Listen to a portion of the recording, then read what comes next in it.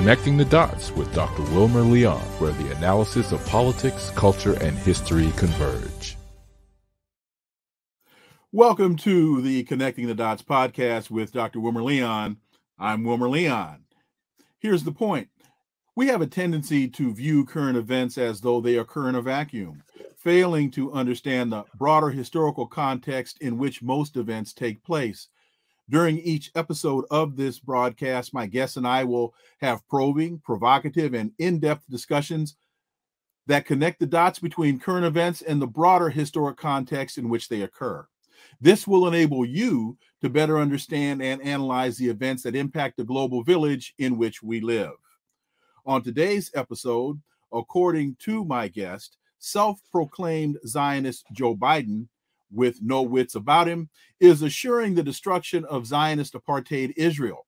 As corrupt U.S. intel leaders have unleashed the dogs of war, we cannot be bystanders. Quote, indifference to evil is more insidious than evil itself. That's Rabbi Abraham Heschel. For insight into this, let's turn to my guest. He leads the Speaking Truth to Power section of Tell the Word, a publishing arm of the Ecumenical Church of the Savior in inner city Washington. He served as a CIA analyst for 27 years, his duties including chairing the National Intelligence Estimates and preparing the president's daily brief. And he also ran the Russia desk uh, for the CIA. And in January of 2003, he co created Veteran Intelligence Professionals for Sanity, better known as VIPS. He is Ray McGovern. Ray, welcome, and let's connect some dots. Thanks, Dr. Leon. Ray, you recently published a piece uh, at raymcgovern.com entitled, Can You Give a Brief Synopsis of What's Happening in Israel?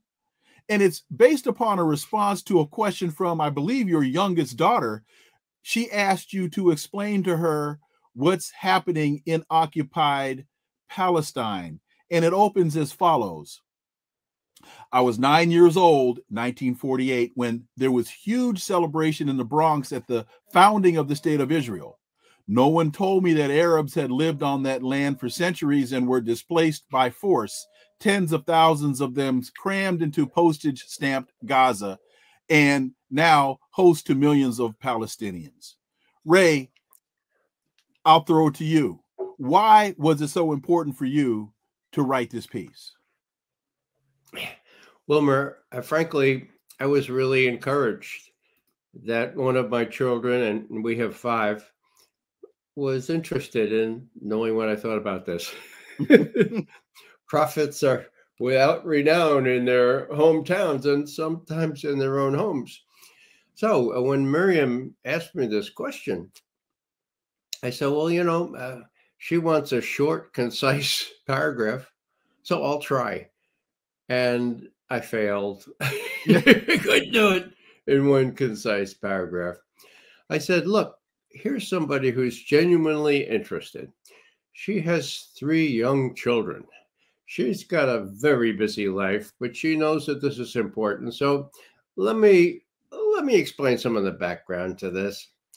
And so I, I started out first with the so-called religious justification for what Israel did, well, in occupying lands already occupied by Palestinian people for centuries before.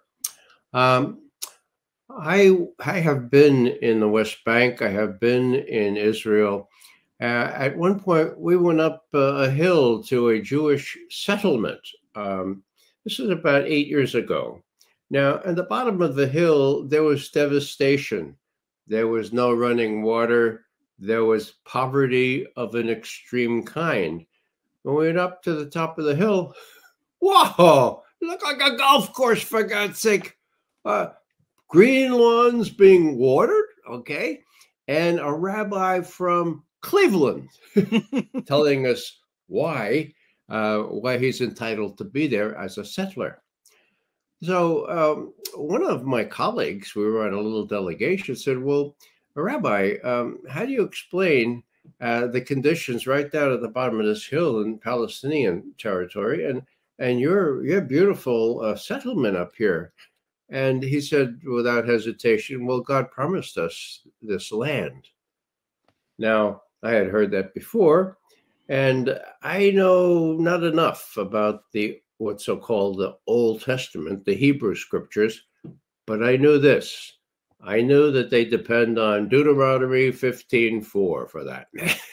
so I raised my hand, Rabbi, uh, please cite the part of scripture that justifies your settling on this land. And he said, Oh, that's easy. He said, uh, uh, Yahweh said to the Jewish people, You shall have this land flowing with milk and honey.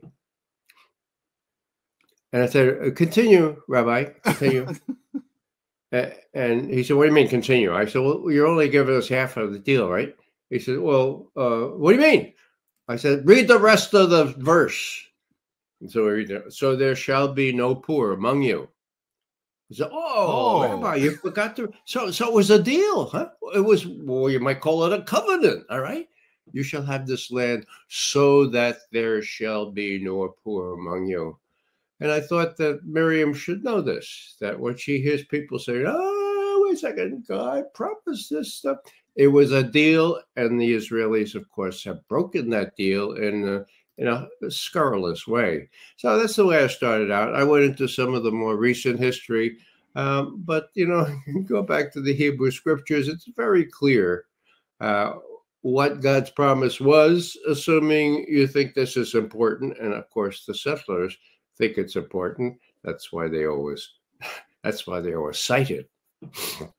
You know, you know, Ray, two things. One, uh, it would be one thing if the scripture said, I will give you this land of milk and honey so that you will not be poor. But that's not what it says. It says, so that there will not be poor among you. And there's a, also a reason why uh, those individuals are called settlers. And there's also a reason why that region is called the occupied territories. That's right, Wilmer. And, you know, it's an embarrassing history we Americans have because we were settlers on a land peopled by Native Americans. And we kind of pushed them aside just as Israel has pushed the Palestinians aside. So it's it's not a happy history.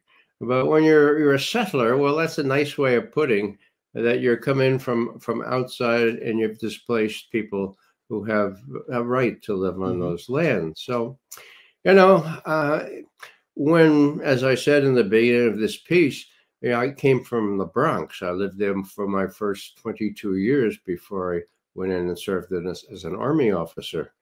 Now, um, when I was nine years old, 1948, oh man, it was it was sort of like the Fourth of July ten times over.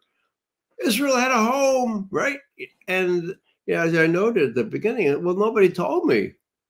Nobody told me that it was not a, a land for people, a, a, land without any people in it. Well, there were people in it, and you know that's the basic part of all this. And you know, if you go more recent in history, you know, I was serving as a CIA analyst in 1967 uh, when the Israelis uh, attacked Egypt and Syria, decimated their air force, and enlarged Israeli territory to include parts of Syria, to include the West Bank, to include the Sinai, to include Gaza, lots of places to include, all right? okay. Now, um, we thought, or we were told, uh, that Egypt was about to attack Israel.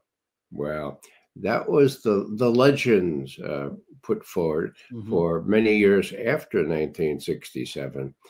But finally, um, Menachem Begin a former Israeli prime minister, got up um, before an audience in Washington in 1982. And, you know, call it chutzpah, call it honesty, call it uh, a cleansing of his conscience. But this is what he said. it's not long. I want to read it so that I don't mess it up. All right? mm-hmm. Menachem Begin, former Israeli prime minister. Quote In June 1967, we had a choice. The Egyptian army concentrations in the Sinai approaches do not prove that Nasser is ready, really about to attack us. We must be honest with ourselves. We decided to attack him. Period. End quote. It was duly reported in the New York Times, and people in New York uh, and us, elsewhere where I was living, like, oh, isn't that interesting? So, they, so the Israelis said, well, that's called aggression. That's calling creating Lebensraum, okay, not terribly dissimilar from what happened in the 30s at the hands of the Nazis in Germany. And so that's the truth behind all this. Now, how did the UN react then, back in 67 when all this happened? There was a unanimous Security Council resolution, Resolution 242, that called for is Israel to withdraw from the the occupied territories. Uh, was it a close vote? It was unanimous. Okay. Uh, did the Israelis do that? No, they didn't do that. Why didn't they do that? Because of chutzpah, because the Israelis uh, can always depend on the United States to defend them no matter what they do. And so they have occupied all those territories. They gave back the Sinai uh, to Egypt when there was an agreement under Jimmy Carter but the Sinai is not worth keeping, actually. now the people in Gaza are bearing the brunt of this, this occupation, um, this uh, oppression. And uh, as I, I quoted uh, Rabbi Heschel, one of my very favorite, favorite people who marched with Dr. King back in the, the late 60s, that, uh, you know, we're not all guilty, uh, but we are all responsible uh, how did I put it, or how did he put it? Uh, indifference to evil is worse than evil itself. Mm-hmm. that's what we have to measure up to this time. Uh, there's been evil in the uh, in Gaza, and we have to make sure that we don't one-sidedly accuse one side and give the other a, a free a free ride, so to speak, as has been the case since the U.S. reacted to the UN resolution and didn't do diddly, as we say in the Bronx, to enforce it. There's a lot of misinformation, there's a lot of disinformation and outright lies that are being used in support of the Zionist U.S. narrative of this illegal occupation of Palestine, as well as the genocide of Palestinians. I want to read a brief statement and then show a map before I come back to you. Here's a statement. This is from the Foreign Office the 2nd of November, 1917. And it reads Dear Lord Rothschild, I have much pleasure in conveying to you, on behalf of His Majesty's government, the following declaration of sympathy with Jewish Zionist aspirations, which has been submitted to and approved by the Cabinet. His Majesty's government view with favor the establishment in Palestine of a national home for the Jewish people and will use their best endeavors to facilitate the achievement of this object, it being clearly understood that nothing shall be done which may prejudice the civil and religious rights of existing non Jewish communities in Palestine or the rights and political status enjoyed by Jews in any other country. I should be grateful if you would bring this declaration to the knowledge of the Zionist Federation. Yours, Arthur James Balfour. Now, this is known as the Balfour Declaration. The British government decided in 1917 to endorse the establishment of a Jewish home in Palestine, not Israel, Palestine, after discussions within the cabinet and the consulting with the Jewish leaders, the decision was made public, and we have this letter.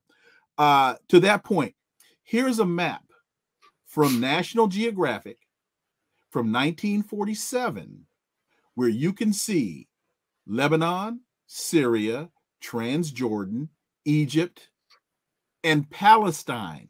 Israel is not on this map. Why? because contrary to the dominant Western narrative, Israel did not exist. That's why we know now Israel is actually the occupied territories. Ray, uh, I, people will have a tendency to try to categorize this conversation as anti Semitic, which is why, if we can put the map back up one more time, I want to be sure that people see this map. This is history. This is not narrative. This is not rhetoric. This is history. Ray McGovern. Well, history can be very anti Semitic. yeah, I, yeah. I mean, it's hard to hard to realize that most Americans are, are blissfully unaware of all this. The maps show the story. Now, the situation right now is different. Mm-hmm. How is it different? Well, the the Soviets. I, I used to be a, a, a, Soviet analyst, an analyst of Russian uh, foreign policy. The Soviets used to talk about a concept called uh, the correlation of forces. Now, it's not it's it's not uh, it's not rocket science. Okay, it had to do with the balance of power in the world. Now, guess what, folks? The balance of power in the world has shifted. Okay, uh, people are now talking about a shift from a unipolar world, which mm-hmm. is what the U.S. was since World War II, and particularly since the the Soviet Union fell apart. Okay, to a multipolar world where other countries are allowed to have a say in these things. Well, I look at, at it as a bipolar world. And I would refer more recently just to yesterday's vote at the UN, where the US was the only one to veto a resolution calling for a ceasefire in Gaza, calling for the Israelis not to ethnically cleanse uh, Gaza as they apparently still intend to do. So, what, I, what's my point? My point is that everyone, every, not even the British, voted with us this time. Okay, twelve to one was the with two abstentions. So, what am I saying? I'm saying that the Arab countries. Uh, well, here's a, here's an example. The Arab ambassadors in Beijing asked the Chinese, please get us all together. We need to talk about what's going to happen in Gaza. And the Chinese did. The head of Iran calls up arch rival, the head of Saudi Arabia, and says, you know, we got to do something about this. And they have a cordial conversation. Okay. Next thing you know, he's talking to the head of Hamas. He's talking to the head of Hezbollah. Okay. Um, so there are there are things that are happening here where you know it's it's a, a no-brainer where this the deck is being stacked heavily against the United States and and its satraps like uh, the UK and France and Germany. They're not very long for this world, those governments. Okay, so what we have here is a is a a, condition where uh, 20 years ago the U.S. could work its will. Okay, no longer can it. Hamas is well equipped. Uh, I don't uh, think that uh, killing civilians is a good idea. Nor but, do I. Know, when, you, when you look at it, uh, when you look at it, you say, "Well, was this uh, unprovoked?" yeah, unprovoked seems to be the the adjective of choice here. Okay, just as Putin's decision to defend his compatriots in the Donbass was not unprovoked uh, neither was Hamas's reaction here. Uh, without making any moral judgments, is which is something that intelligence analysts are not called to do. Actually, mm-hmm. we can say you can understand this given the the recent history and the more distant history that we've referred to earlier. I, am very glad that that you put it that way because um, a lot of times people misconstrue and i'll just put this on a personal level i'm not a i'm not a former i'm not an intelligence analyst but i i am a political scientist not a political operative. And so people have a tendency to misconstrue my explanation of events with my agreeing with the events, my saying, I understand why President Putin and Russia went into Ukraine. I understand it because I understand the history. I understand why Hamas took the actions that it did. I don't condone the killing of civilians. I don't con- I don't condone the killing of children, but I understand why Hamas did what they did. Um, if you could quickly, Tony Blinken, you were just talking about the shift from the unipolar to the multipolar world. Talk a little bit about Tony Blinken and this whole concept of the rules based order because Tony Blinken and the Biden administration they love to talk about the rules based order but when you try to find a definition of it you can't because it only exists in the mind of Tony Blinken they rarely talk about international law they always want to talk about the rules based order? You put your finger on it. Uh, rules based international order. Well, it's a contrived expression. It's meant to substitute for international law and the United Nations. Uh, it was invented by Blinken and Sullivan and Nuland. And uh, I mean, Putin and Lavrov, the uh, foreign minister, have made fun of it. Well, you know, tell us about this. Uh, we looked at, we try to Google it, but we don't. could you please give us? Uh, can you give us a piece of paper to describe what the rules-based international order? And of course, they can't. And what it means is what we say goes. We make the rules, and and that's it. And you so, follow our orders. yeah, people are getting wise to that. An increasing number of people witnessed the the vote at the UN yesterday 12 to 1, the one being the United States. You know, the saving grace here, as I see it, is that the UN is still being respected by China, by Russia, and by some of the other countries that are, are, insisting that we abide by UN regulations. First and foremost, in this context, UN Security Council Resolution 242, of November 22nd, 1967, ordering is to relinquish control of the occupied territories that they seized in 1967. So, what's the hope here? Well, the hope was yesterday. The U.S. Uh, U.S. talks about Russia being isolated. well, look, and you know, maybe, just maybe, um, these Zionists, and I use that word advisedly. I mean, Joe Biden has bragged about being a real dyed in the wool Zionist. So has mm-hmm. Blinken and Sullivan, the rest of them. Okay. What does that mean? That means the people that occupied the Palestinian territories, occupied by Palestinians for as just as Native Americans in our example, four centuries before it doesn't make sense and it's not going to make any it's not going to make any headway no matter how much we invoke this rules-based international order thanks for raising that uh, because it's uh, it's very telling how we thought that we could just invent a new a, a new phrase and substitute it for international law and the UN. Uh, President Biden, when he went to the region on this so-called peacekeeping tour, or wherever the heck he was supposed to be doing.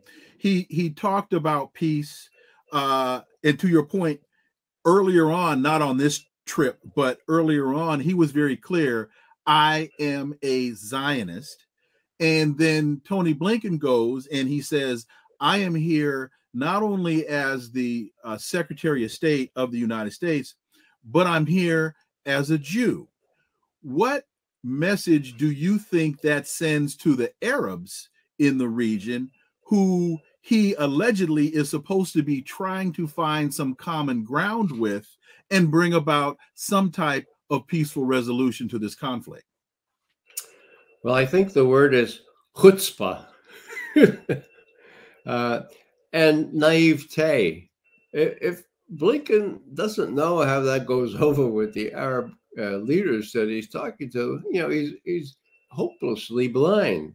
Wait a minute, um, wait a minute, um, Ray. Does he? Yeah. Does he care? Because what that I, I remember very clearly, probably two years ago, when Blinken went to Anchorage, Alaska, to meet with the Chinese delegation, and the Chinese delegation got up and said, "We're not going to sit here and let you lecture us.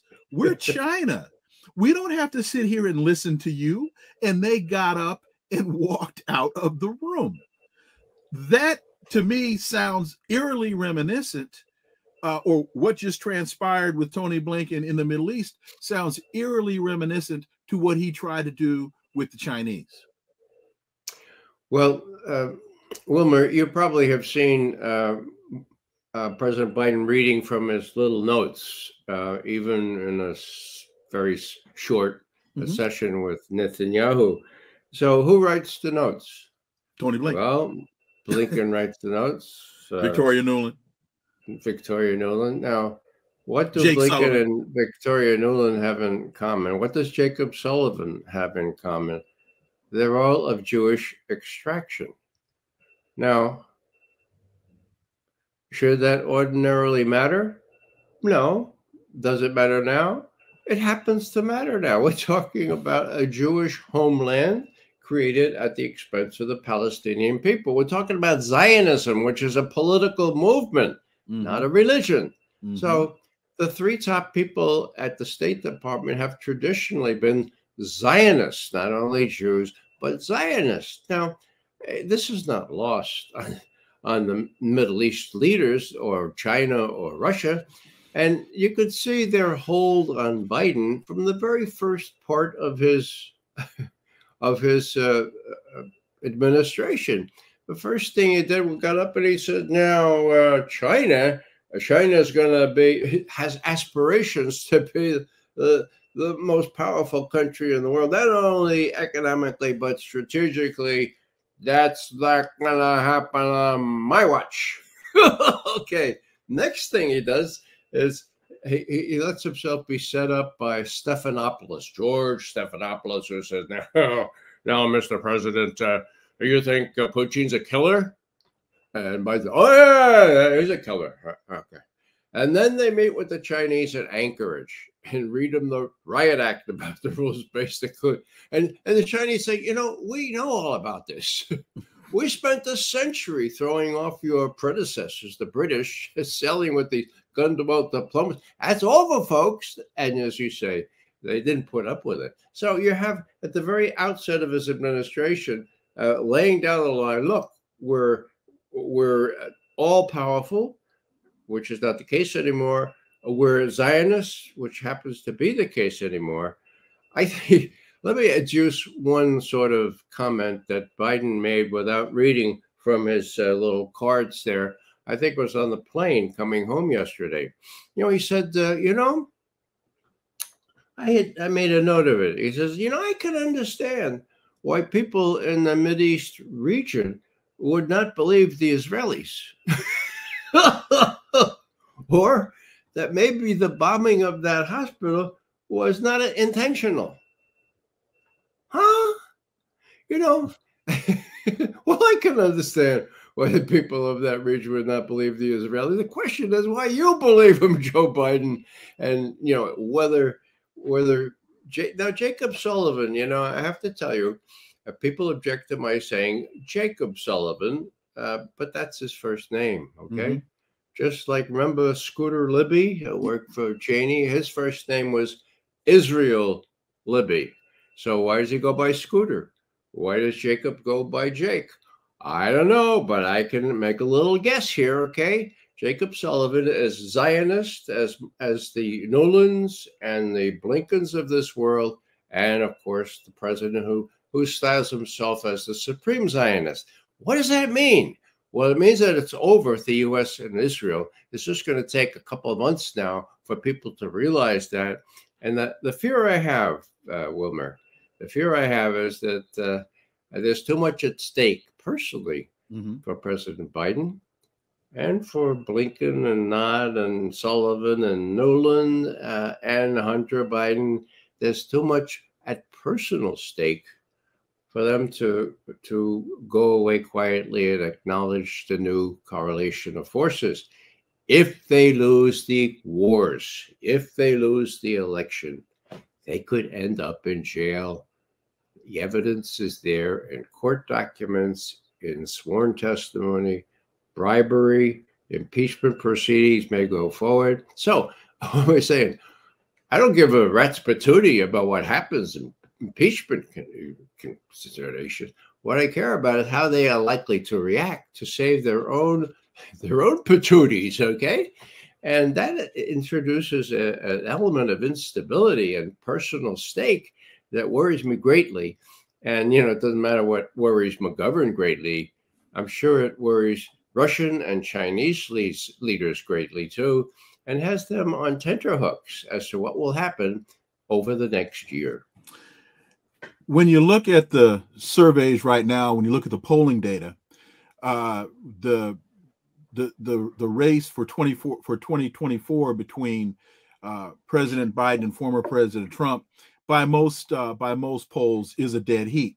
Uh, it's within one or two points. It's it's within the margin of error uh, history tells us that uh, countries tend not to shift leadership or change leadership in the midst of conflict slash war.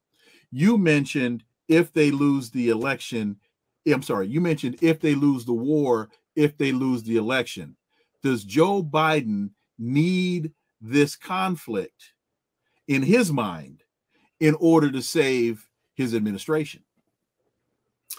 I don't think Joe Biden is compos mentis.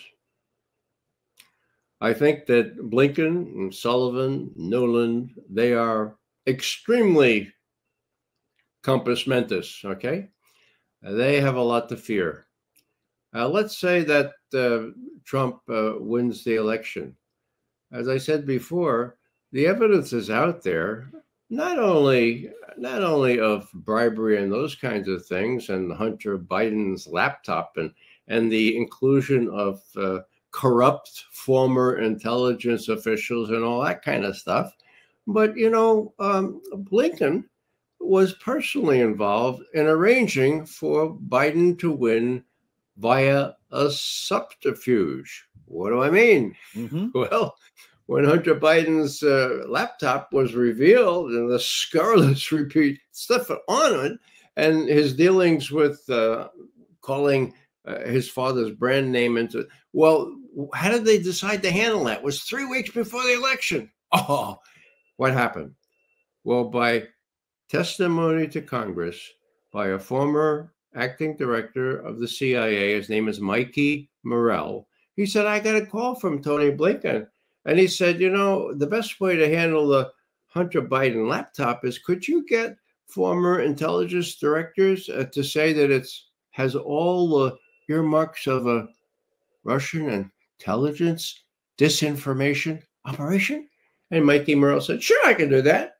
Three days later, Mikey Morell has rounded up 50, count them, 50 former intelligence directors and very high officials. Speaks pretty poorly of them, doesn't it? Mm-hmm. 50 plus Mikey Morell. And he says 51 former intelligence directors, including four or five former directors of the CIA, as if that enhances their credibility, say this has all earmarks of Russian intelligence disinformation operation. Now, was that consequential? Well, all I know is that two days later, uh, Joe Biden had his last uh, debate with uh, with Trump, and Trump raised this.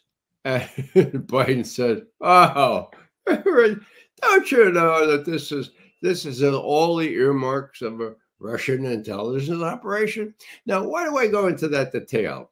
I mean, that should not have happened. Okay. I don't know right. whether that won the election for Biden or not, but you don't do these things. They have to be illegal, in my view.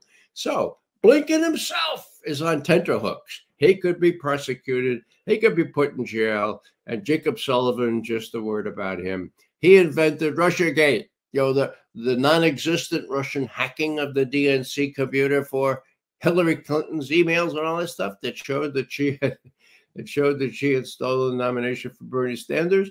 You know, that was Sullivan. He was a big campaign manager for Hillary Clinton. So that's all out there. Now, I don't know if Trump came in, and I will not comment on what I think of Trump. If he came in, um, you know, he's he's not a he's not loath to um, to hold these people accountable. And on this case, he's got the law behind him. So again, there's great incentive on the part of all these people preparing the notes for Joe Biden to keep the war going in Ukraine and not lose before the election, and to help the Israelis uh, to the degree uh, the U.S. can still uh, not lose in Gaza. The last one is not possible anymore. Neither is the first one. So, what am I afraid of? I'm afraid that they will react um, according to this personal stake they have. And, you know, it, it's happened before.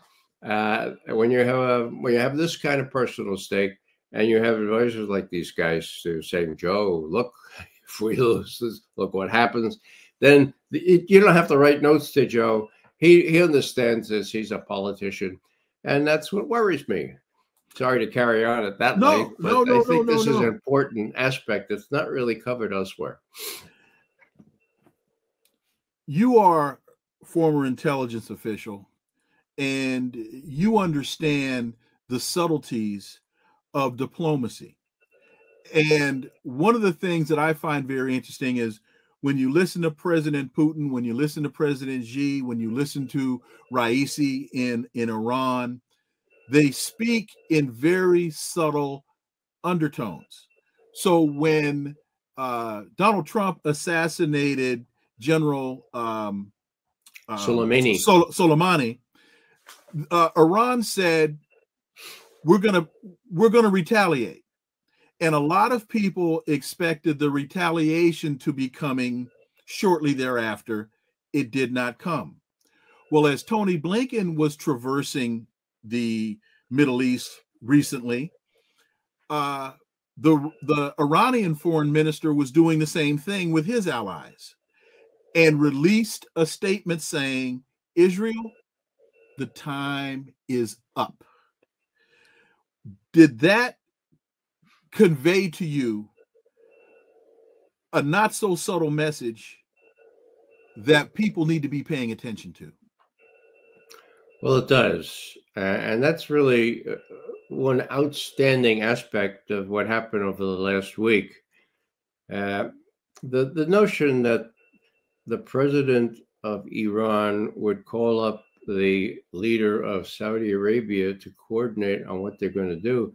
I mean, that's a uh, that's a tectonic shift in the relations between those two countries, and uh, you know, Raisi, the the president of Iran, has has been traveling all around, and he's got uh, you know he talks to uh, the Syrians and he talks to the Egyptians and and you know the uh, actually the Egyptians and the uh, and the Jordanians wouldn't even wouldn't even receive Joe Biden uh, when he wanted to see them. So, you know, what we need to do is And- and- and- recognize. And and Mohammed bin Salman made Tony Blinken wait an entire day, actually overnight, because I guess he had gone fishing in somewhere in Saudi Arabia, and he was on a fishing trip in Saudi Arabia and couldn't be bothered.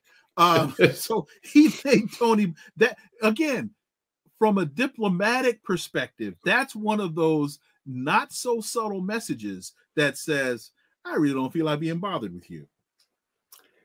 Yeah, and you know, Saudi Arabia is very, very, very important, not only because of the oil, but because of the rapprochement that was going on with China and with others.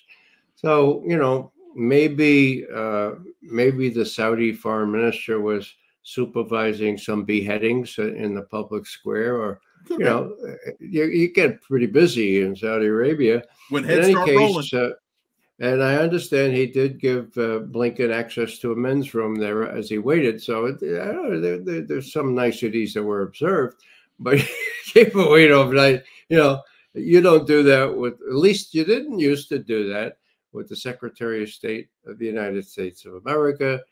The least, least of all, would the Saudi Arabians have done that. So that's uh, just one little, uh, one little symptom of the tectonic shift in relations, uh, where U.S. is no longer the unipolar uh, uh, power um, but rather, uh, you know, a, a, bipolar with them, uh, with the United States. And I, you know, I'm I'm an American citizen. I really mourn the fact that because of our own own ineptitude and chutzpah, uh, we put ourselves in this situation.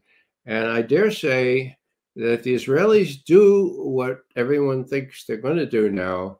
It's going to be all hell to pay because the Iranians Hezbollah, Hamas, the Egyptians, the uh, Hezbollah, uh, the, the, others, even the Saudis, for God's sake, are not going to sit around and tolerate the decimation of two million people in Gaza. The uh, Yemen isn't going to be too too happy with this with this either. Yemen uh, as well, yeah. So people watching this, people listening to this, they may be saying, wow, Wilmer, you, you and Ray are spending an awful lot of time talking about foreign policy, talking about the Middle East. Uh, you know, we have homelessness in in in the United States. We we have we have abject poverty. We have all these uh, declines in the standard of living in the United States. Why spend so much time talking about this instead of talking about that? Well, because they're connected, as you well know.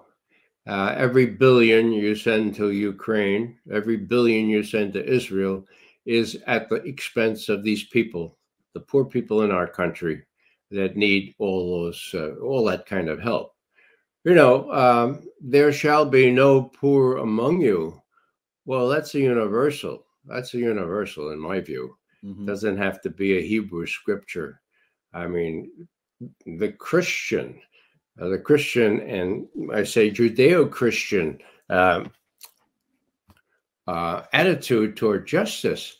You know, uh, Wilmer, we have this American concept of justice where you have this blind lady of all people holding these scales and the image is impartiality image no favoritism to one or the other. Now let me tell you something and your and your listeners.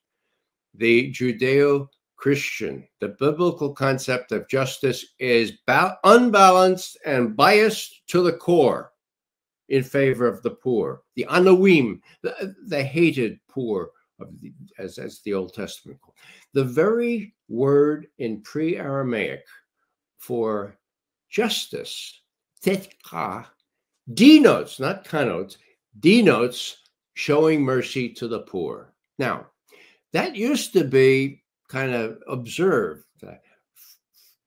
Uh, FDR, my father's favorite president, he cried when FDR died. Uh, he knew in his heart what he needed to do poor people. They brought out, brought us out of that depression. Okay, mm-hmm. there used to be a, a, Democratic Party that cared mostly about the poor. When I asked my father, I said, "Dad, um, what's the difference between a Democrat and a Republican?" he said, "All Democrats care about people. Okay, care about poor people. Well, that ain't the case anymore." They're all kind of joined at the hip. And what do they care about? Stuffing their own pockets. Uh, you know, what was really a revelation to me was when Pope Francis came to Congress, 2015, I think it was, and there was a joint section, right? And he stands up there, and to his credit, Pope Francis says, and I quote, the main problem today is the what's he called? Is the blood-soaked arms trade. Okay, the main problem today is the blood soaked arms trade, period, end quote. Now, what do those congressmen, what do the senators do? Oh, they go, yeah, yeah. they go, oh, yeah, right. And they stood up, right? And then they looked in their in their pockets, to see if envelope from Raytheon was still there, and the one from from Lockheed over here. I mean, it was giving hypocrisy a bad name. Okay. These guys know what the message was, but they're so soaked in this money and this power that it's going to take a lot of us, a lot of us who care about the poor, and a lot of us who can show uh, what they call opportunity costs is what the economists use. Okay, mm-hmm. for every for every uh, 150 million dollars you spend on creating an F-35 what could be done in your school district to pay the the teachers a decent wage? What could be do? What could be done in Iowa or Nebraska or any of these places which are being downtrodden? Okay, the, people need to to make this very specific. This money is going to these high these people that are making 20 30 million dollars a year as salaries as CEOs of Raytheon, Lockheed, General Dynamics uh, that ain't that ain't sustainable. We need to get up and find out where these people live, shame them into relenting a little bit and saying, look, you know, uh, maybe maybe 10 million is enough for your salary, and maybe we'll give the, the balance to the poor. So to round this thing up, uh, I happen to be out of the Judeo-Christian tradition, and this reinforces my what's the word my my imperative uh, to to honor the concept of justice, which is not balanced in favor of everybody because it's not a la- it's not a level playing field. It's an unbalanced. It's biased and prejudiced to the core in favor of the poor. Now that that's what I come out of as a faith perspective. I'll just add one other thing. I had a Jesuit teacher who was a real good friend of mine. I said, Well, how would you describe your theology? I said, That's very simple. I can put it in one sentence. I said, What's that? He says, Well, it all depends on what kind of God you believe in and how God feels when little people are pushed around. Period. End quote. Okay, I'll say that again. And how God feels when little people are pushed around. Now, you don't have to believe in God. You could just believe in justice. I had agnostics and, and atheists tell me, look, Ray, you don't have to go into the Bible here. Human beings know that we're supposed to be fair. And that's true. Human beings used to know that. We need to get back on the track here and do everything we can to make sure they realize that now. The more so since things are getting very, very perilous for us, not only in Ukraine, but in in in Western Asia, as it's called now. In in mentioning Ukraine, you also have a piece at your website, raymcgovern.com, entitled "Fact Checking Putin on Ukraine." Uh, President Putin gave an interview right before he went to China uh, for the Belt and Road Initiative uh, conference, and uh, you you you say media consumers should be permitted to learn what Putin said, particularly about Ukraine and Russia's problems dealing with various U.S. administrations over the years. Readers who rely on the quote paper of record end quote, however, will be shielded from his remarks and thus any temptation to ask if they might be true. And you went through uh, a lot of what what uh, Russian President Putin had to say. You did your own fact checking, and what were some of the conclusions uh, that you came to regarding uh, President Putin's uh, the veracity of his comments? Well, uh, I checked them all, and there were two that I needed to consult others on because I wasn't 100% sure. One had to do with when Soviet, Soviet, Russian forces went up there near Kiev and were abruptly withdrawn very early in the war in Ukraine.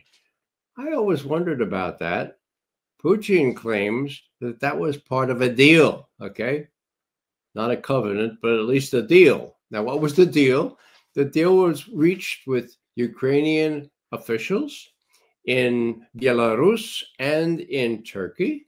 uh, there was a deal to stop the war, to have a ceasefire, to commit Ukraine not to join NATO, and to bring Russian troops down from where they were threatening Kiev.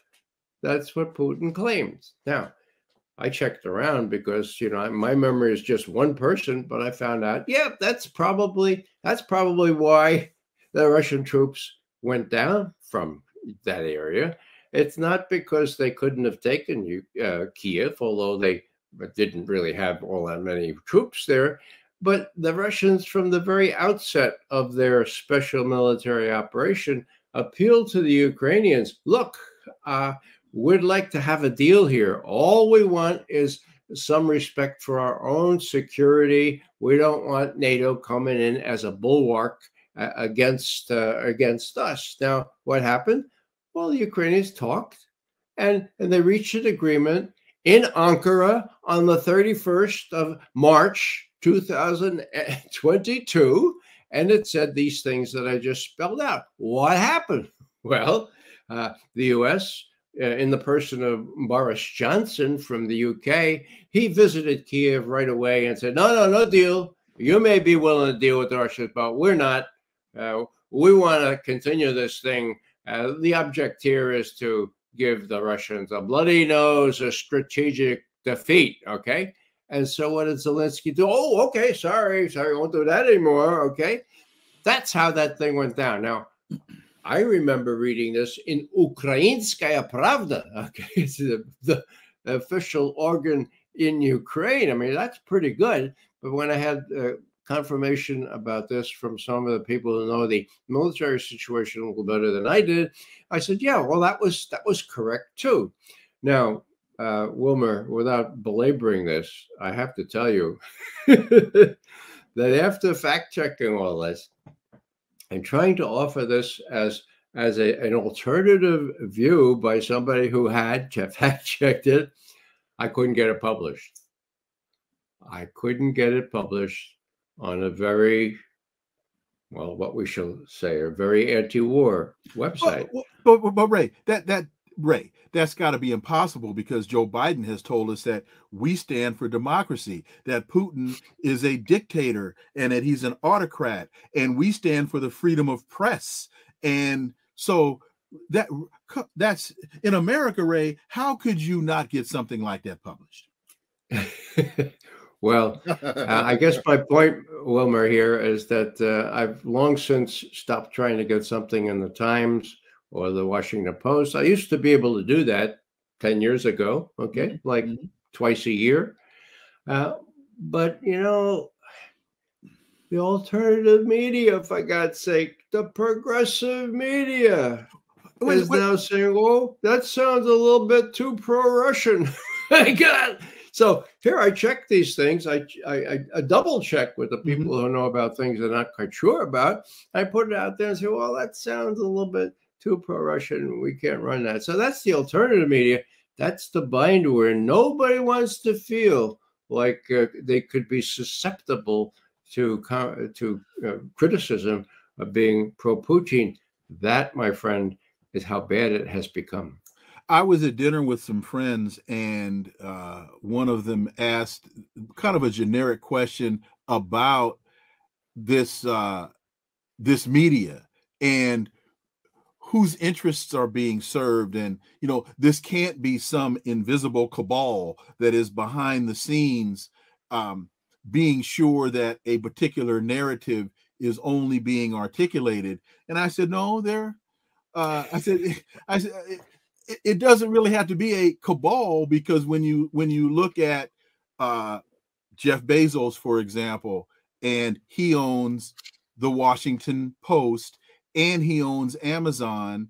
And look at where Jeff Bezos has received most of his money from uh, Amazon Data Systems, which is a defense contractor.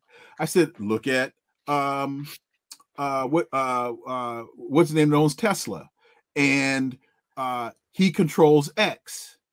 And where does he get most of his money from? SpaceX and Starlink, defense contractors. So it doesn't necessarily have to be a cabal as much as it is uh, the confluence of interests that understand which side their bread is buttered on. Is that is that fair to say? Well, Wilmer, um, I have an expression or an acronym called the MICIMATT, the Military Industrial Congressional Intelligence Media Academia Think Tank Complex. It's in some dictionaries now, okay? Why do I say media? Because the media is controlled by the rest of the MICIMATT. That's the situation we're in now. Now, you mentioned Jeff Bezos, and you correctly pointed out he gets lots of money from the federal government, CIA, and others. Okay.